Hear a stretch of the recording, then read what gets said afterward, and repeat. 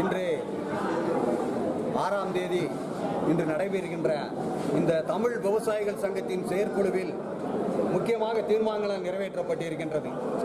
முதல் தீர்மானமாக பயிர் காப்பீடு வருகின்ற முப்பதாம் தேதி வழங்கப்படும் அனைத்து விவசாயிகளுக்கும் என்று மாவட்ட நிர்வாகம் அறிவித்திருந்தது.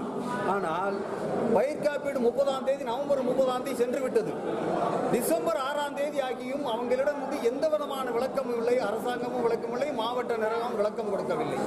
ஆகவே வருகின்ற பத்தாம் தேதிக்குள் இந்த பயிர் காப்பீடு வழங்கவில்லை என்றால் வருகின்ற பதினாறாம் பதினாலாம் தேதி கோவில்பட்டியிலே ஆயிரக்கணக்கான விவசாயிகள் திரண்டு மாபெரும் மறியல் போராட்டம் நடத்துவோம்.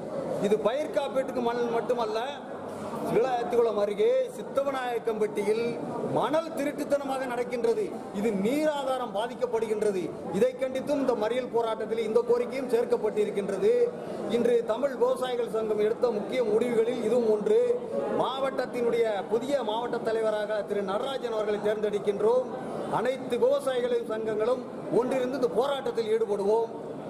வருகின்ற பதினாலாம் தேதி நிச்சயமாக போராட்டம் தொடரும் என்பதை தமிழ் விவசாய சங்கம் தெரிவித்துக் கொள்கின்றது.